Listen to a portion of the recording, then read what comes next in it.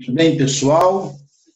Vamos aí explicar agora o poder constituinte, né? Então nós temos dentro do estudo do direito constitucional os temas para tratar, né? Um deles chama-se poder constituinte, tá certo? Que é, na verdade, um poder que se instala para produzir uma Constituição federal, tá certo? E também se instala para reformar a Constituição Federal.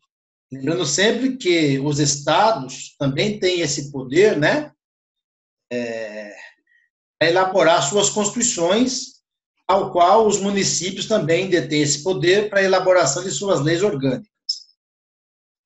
Nós devemos aqui é, satisfação aos editais dos concursos. Então, a nossa preocupação sempre é dar a explicação né, focada nos concursos, certo? Que me parece algo muito mais razoável, né? Muito bem. Então tá, nós vamos então, sem mais delongas, iniciar aí as explicações a respeito, né, do chamado aí poder constituinte, é um tema que vai exigir também aí bastante calma e atenção da parte de vocês para é, ter uma boa compreensão, certo? E beleza, a gente vai em frente aí, vamos lá. Desculpe, vamos lá. É, poder constituinte, conforme Alexandre de Moraes, é a manifestação soberana da vontade política suprema de um povo. Né? Isso, um poder que ocorre do ponto de vista né, soberano, porque o povo tem essa soberania decorrente do Estado democrático, e que ela vai acontecer do ponto de vista não somente político, mas do ponto de vista social e jurídico. Então, seria uma manifestação de vontade popular, certo? Popular, que vai se desenrolar no aspecto político, certo? No aspecto social, certo? No aspecto jurídico. Então, é, o povo estando organizado, ele consegue fazer surgir uma Constituição, né? se, no, se o país não tem, faz uma Constituição. É, ele também consegue, né, por meio dos seus representantes, alterar essa Constituição. Portanto, pessoal, para efeito de prova, o titular do poder constituinte, olha lá, o titular do poder constituinte não vai errar na prova, não. O titular é o povo. Né? Professor, eu sei, mas não é o parlamentar que vota a proposta de emenda à Constituição para alterar a Constituição, né, que seria o chamado poder constituinte derivado? Sim, é o parlamentar, mas a pergunta é: quem elegeu o parlamentar? Né? A pergunta é essa: quem elegeu o parlamentar? A hora que eu tenho a resposta, o povo, então, ele é o que tem o poder constituinte, né? Bom, muito bem. Coloca isso aqui, que é a titularidade do povo, de modo que a vontade constituinte é a vontade do povo, expressa por meio dos seus representantes. Não falei aqui, mas você entende que são os representantes eleitos, né? Então, nós temos saber aí que existe um poder constituinte chamado de poder constituinte originário. E tem um outro que é chamado de poder constituinte derivado. Quer dizer, das duas, uma. Ou o poder constituinte será chamado de constituinte originário, ou ele será chamado derivado. As duas, uma. O originário faz a Constituição, né, pessoal? Tem, faz um aí. Ou tem, não interessa mais aquela, vamos fazer outra. Né? É originário. O derivado não é para isso. É para alterar a Constituição, né? Então, diferente. Vou alterar, derivado. Agora, esse derivado, ele tem dois nomes. Olha lá. Seria o derivado de reforma, que é o derivado para alterar a Constituição, ou derivado decorrente, que é o derivado para os Estados-membros e os municípios produzirem também suas normas supremas, tá certo? No caso do Estado, Constituição Estadual, no caso do município, lei orgânica do município. Muito bem. Eu vou falar primeiro, pessoal, do poder constituinte, né? Vou falar primeiro do poder constituinte originário. Então, é chamado aí de poder constituinte originário, mas cai na prova esse nome. Mas pode vir também como poder constituinte, né, lá, poder constituinte originário, pode vir também como poder constituinte de primeiro grau, bem, certo também. Poder constituinte genuíno, poder constituinte primário, valendo pode fazer a primeira Constituição, como tivemos no Brasil em 1824, pode, né, pessoal, ao invés de fazer uma Constituição, inovar a que já existe, né? pegar a que já existe, né? jogar fora, não usar mais, e passar ali a produzir uma Constituição nova. Isso é possível acontecer também. Okay? Bom, características do poder constituinte originário, genuíno, primário, primeiro grau, problema. Pode vir de qualquer jeito. Tá valendo. Ó, ele é soberano.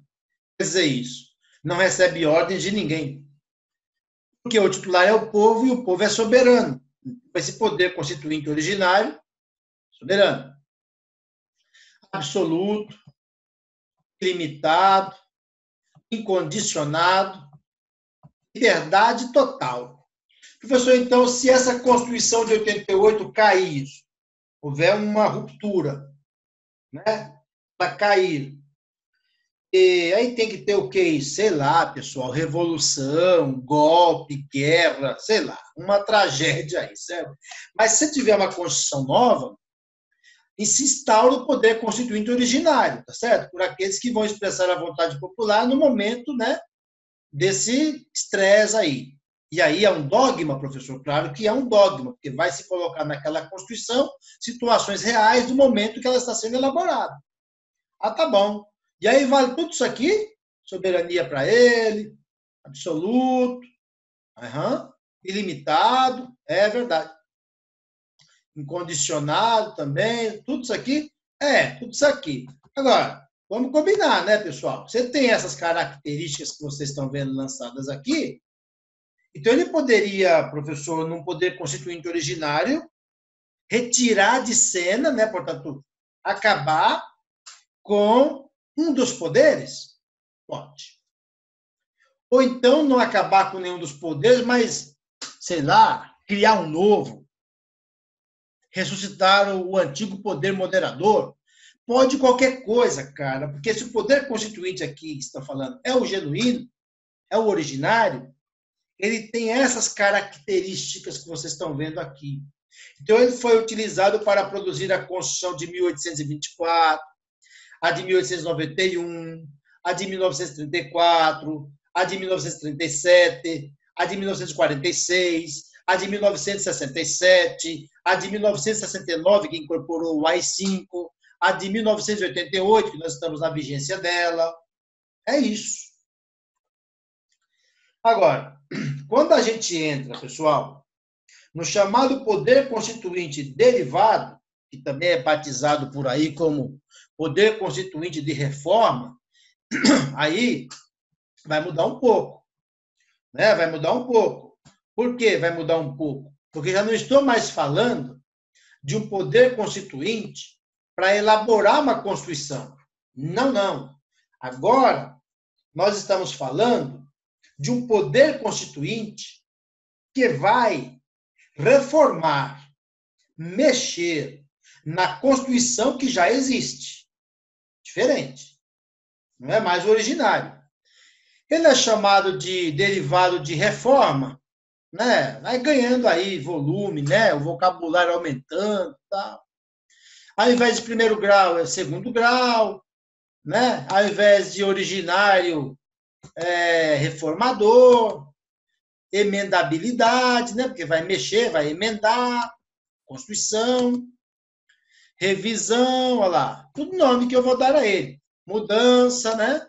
Olha lá, secundário, tudo nome que eu vou dar ao bendito aí, reformador, tal. Um ponto importante aí, né, gente, é que depende da previsão do originário. Ou seja, se o poder constituinte originário quiser que a Constituição seja imutável, é só escrever quando estiver elaborando a Constituição. Só escrever. O poder constituinte originário escreve lá isso. Ó, e aprova, claro, né? No, no, no momento da Assembleia Nacional Constituinte. Né? Escreve lá e aprova. Esta Constituição não será objeto de reforma. Ponto final. Automaticamente, ao invés da Constituição ser classificada como rígida, no é caso da nossa atualmente, ela passaria a ser classificada como Constituição imutável. Mas não é o caso, tá, pessoal? Nossa Constituição não é desse tipo, né? Ela, ela permite reforma, tanto é que nós estamos aqui na pauta com o poder constituinte derivado. E aí eu tenho, nesse momento, né, condições de explorar com vocês aqui alguns temas que são correlacionados com o poder constituinte. Tá certo? Com o poder constituinte. Professor, o que seria, por exemplo, o senhor está falando aí de assuntos correlacionados? Pois é, nós já andamos aí tocando no assunto, né? Em outro momento, mas agora eu tenho que renovar tudo aqui. É, chamado cláusula pétrea. Né? Então, o que é uma cláusula pétrea? Daquele setor da Constituição que não poderá ser objeto de emenda constitucional tendenciosas a abolir alguns direitos. Tá certo? Então, não é dizer que as cláusulas pétreas são intocáveis, né, como alguns dizem por aí, mas é dizer que as cláusulas pétreas é um setor da Constituição que não se pode, digamos assim, emendar, né, reformar, mexer para retirar a cláusula pétrea. Tá certo? Pode mexer, professor. Então pode, mas não pode retirar da Constituição. Né? Quando você lê, por exemplo, lá o artigo 228 da Constituição que diz que a idade né, penal, né, de imputabilidade penal é 18 anos. Isso é um direito individual por ser individual, é uma cláusula pétrea, né? porque os direitos individuais são cláusula pétrea. Ok, beleza. Então não pode mexer nisso? Pode. Ah, tá. Então dá para fazer uma emenda constitucional e reduzir para 16 anos, por exemplo, tá? Pode fazer, vai ter lá opiniões contrárias, opiniões favoráveis, mas didaticamente aqui em aula, isso é possível se cair na prova. Agora, o que, que não é possível, então, portanto, é proibido? Você extinguir, retirar, abolir a menoridade penal da Constituição, de modo ao sistema penal brasileiro poder punir uma criança. Sei lá. Entende? Não pode isso. Porque a menoridade penal é uma cláusula pétrea. Ah, tá, professor. E se resolverem, ao invés de reduzir para 16, aumentar para 21? Pode também. Vai depender da boa vontade do parlamento em fazer isso, seja para reduzir ou para ampliar. Mas uma coisa é certa: não será objeto de deliberação a proposta de emenda constitucional tendenciosa a abolir certo? Então, quando eu vou lá no artigo 60 da Constituição, no parágrafo 1, eu vou encontrar limitações circunstanciais, né? São situações em que ocorrem e que não autorizam a mudança da Constituição, tá? previsto lá na Constituição. E aí, conforme eu vou avançando um pouquinho mais, eu vou perceber que tem mais parágrafos aí no artigo 4 que traz mais cláusulas pétreas. Sabe o que acontece, pessoal? As cláusulas pétreas, elas podem ser, né, ó, elas podem ser essas aqui chamadas de circunstanciais, elas podem ser assim chamadas. Circunstanciais, que vocês vão ver, conforme a gente vai explicando aqui, elas estão sempre, de certa forma, ligadas ao fator tempo. Ao fator tempo. Então, notem vocês aí, ó uma cláusula pétrea assim conhecida, né, portanto, circunstancial, né, ou circunstanciais, pode vir na prova também como cláusulas pétreas. Colocar aqui melhor. Como cláusulas pétreas, chamadas de cláusulas pétreas temporais. Professor, por que temporal? Porque elas serão consideradas assim, pessoal, dependendo, né, do tempo, né? Na leitura dos artigos que eu estou colocando aí nos slides, já vai fazer você entender isso. Só colocar aqui para você depois não se perder. Tem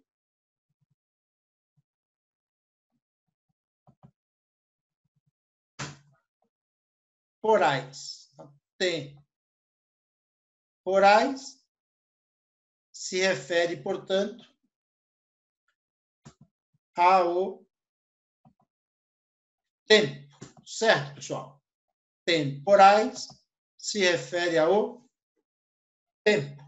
Pode cair na prova como circunstanciais também, sem problema. Então, é, são situações em que ocorrem, em que se ocorre não autoriza a mudança da Carta Constitucional. Então, assim, intervenção federal. Né? Nós tivemos aí, no ano de 2018, quando o presidente Michel Temer decretou a intervenção no Rio de Janeiro, e ficamos ali, né, pessoal, durante praticamente um ano, né, sei lá se começou isso em fevereiro, não me lembro bem, até dezembro de 2018, sem se produzir nenhuma emenda constitucional, porque no período de intervenção federal, nesse tempo, nesse tempo, nós não podemos alterar a Constituição, uma cláusula pétrea de tempo, temporal. Estado de defesa. Está previsto no artigo 136 da Constituição que, se ocorrer aí um desastre de grande proporção da natureza atacando uma região, se decreta o estado de defesa. Se esse problema de grande proporção da natureza atacar o, país inteiro, decreta o estado de sítio. Tem lá os motivos, tá, pessoal? Esse estado de defesa, estado de sítio comentado aí nesse período de pandemia que o Brasil passa também, é porque, se decretado for, as liberdades ficam arranhadas. Graças a Deus não se fez isso até a presente data, espero em Deus que não se faça, mas enfim, durante o estado de defesa, estado de sítio, intervenção federal, não se pode, tá certo? Alterar a, a Constituição, é uma cláusula pétrea, circunstancial ou também chamada de temporal, tá bom? Também não se pode alterar a Constituição Federal na mesma sessão legislativa em que a proposta de emenda já foi recusada. Então, eu tenho lá no mês de. É, no mês de abril de 2017, uma tentativa de aprovar a redução da menoridade penal. O Congresso Nacional não aceitou, por maioria negou, não quis essa emenda. O que, tem que fazer? arquivar e apresentar na próxima sessão legislativa, que vai ser o ano que vem. Porque são duas reuniões por ano. E as duas reuniões se somando, dá uma sessão legislativa. Certo? Tem que o ano que vem, na próxima sessão, apresentar de novo o projeto. O que, que fizeram na época, lá em 2017, deram uma mexida lá no sistema, não sei se foi 17 ou 16, enfim, né? interpretação dúbia do regimento interno à época pelo deputado presidente da Câmara, Eduardo Cunha. Três dias depois, apresentaram de novo a emenda de redução de minoridade penal. Aí, eu não sei quais foram os partidos, lá foram para o Supremo, o Supremo declarou que não era possível novamente trazer à votação aquele assunto, porque havia três dias que ele tinha sido discutido, e agora ele vai ter que esperar um tempo. Um tempo. Uma cláusula pétrea temporal ou circunstancial está ligada ao fator tempo. Ano que vem, portanto, lá no outro ano, vocês trazem de novo a matéria para ser reavaliada. Muito bem, eu tenho que comentar com vocês ainda, pessoal, que o artigo 60 da Constituição, que é tão falado, ele também tem cláusulas pétreas que são chamadas de explícitas. Já já chegaremos lá. Essas aqui são as temporais, tá? Tem cláusula pétrea que é, é implícita, né? Já já eu vou falar delas com vocês também. Muito bem. Então tá aí, né? Limitação temporal, né? Conforme se fala aí, é, em razão do tempo, né? que seria já o parágrafo 5 do artigo 60, que eu acabei de comentar aí, né? Se rejeitada for a PEC, não conseguiu votação necessária, ou for prejudicada e perdeu o objeto, em uma sessão legislativa só poderá ser apresentada na próxima sessão. Tá certo? A sessão aí, ela vai acontecer, portanto, de 2 de fevereiro a 17 de julho, 1 de agosto a 22 de dezembro, atualizada aí com a emenda constitucional 50 de 2006. Se não for aprovada numa sessão, vai ter que mandar agora para a próxima sessão legislativa, portanto, para o ano seguinte. Beleza, pessoal? Explicação já dada, né? Não vou precisar aí é, explicar tanto mais, beleza? Limitação material, né, pessoal? Diz respeito aí à cláusula pétrea aí, cujo os seus núcleos constitucionais sejam é, combatidos, quer dizer, não serão objeto de deliberação no Congresso Nacional, as propostas de emendas tendenciosas a abolir as cláusulas pétreas. Também já expliquei isso aí para vocês, né? Eu vou deixar para no outro módulo trazer as cláusulas pétreas aí, né, chamadas de cláusulas pétreas explícitas, né? Eu preciso explicar isso aí para vocês com mais calma. Não dá para a gente, digamos assim, concluir, né? em um único módulo, modo que esse assunto é o tipo do assunto que vai, né, vai acabar, né, pessoal, trazendo aí é, mais informação para vocês, digamos assim, né? Então a gente tem e é importante salientar que tem temas que a gente vai, claro, sempre cobrar mais, tá certo? Sempre cobrar mais. E se a gente vai cobrar mais, sinaliza que digamos assim, é mais importante para a prova. Beleza, pessoal? Tranquilo? Então, tá aí. Eu vou agora né, é, pedir a vocês para ficarem atentos aos derradeiros tópicos que eu trago aí. Você sabe que é comum né, eu trazer sempre no final aí dos meus módulos uns, uns temas, é, uma, uma, uma, apertar um pouco a caneta em alguns assuntos. E eu quero que vocês fiquem bem atentos às cláusulas pétreas, porque quase sempre que o assunto é poder constituinte, a cláusula pétrea vem junto. Né? Ela vem junto, vem no pacote. Certo? Então, eu quero vocês bem conectados com isso. Beleza? Voltamos para mais um módulo depois de, desse assunto poder constituinte envolvendo aí as cláusulas pétreas.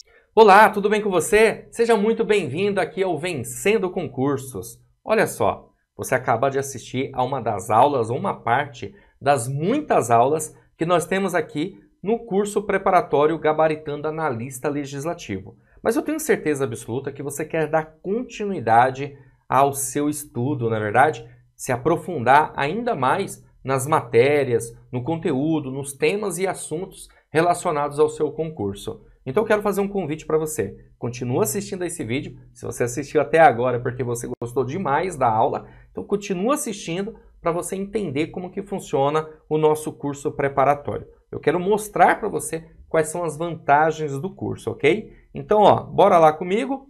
As vantagens do curso preparatório aqui do Vencendo Concursos. Primeiro lugar, você vai ter acesso imediato ao curso. Então, no momento que você adquirir o nosso curso preparatório, você vai acessar a plataforma imediatamente. Você recebe no seu e-mail os dados de acesso. Vai a plataforma, o usuário e a senha que o sistema cria para você. Depois que você entrar, você pode mudar sua senha, não tem problema algum.